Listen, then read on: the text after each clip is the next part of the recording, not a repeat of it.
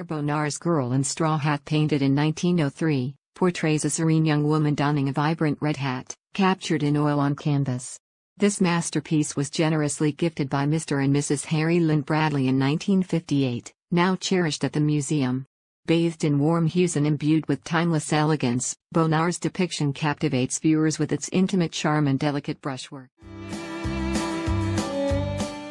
Mrs. Harry L. Bradley, Milwaukee collector of an important collection of European and American painting, prints, watercolors, and sculpture from the late 19th century to the early 1970s that came as a generous gift to the museum, even decided to put this painting on the cover of her 1968 collection catalog.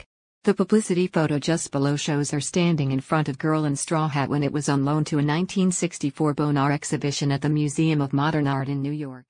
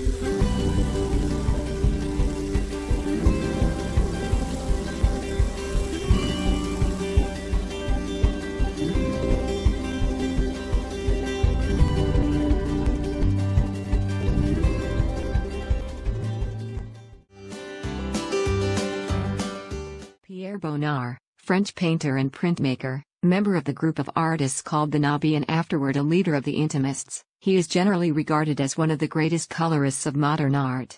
His characteristically intimate, sunlit domestic interiors and still lifes include the dining room and bowl of fruit.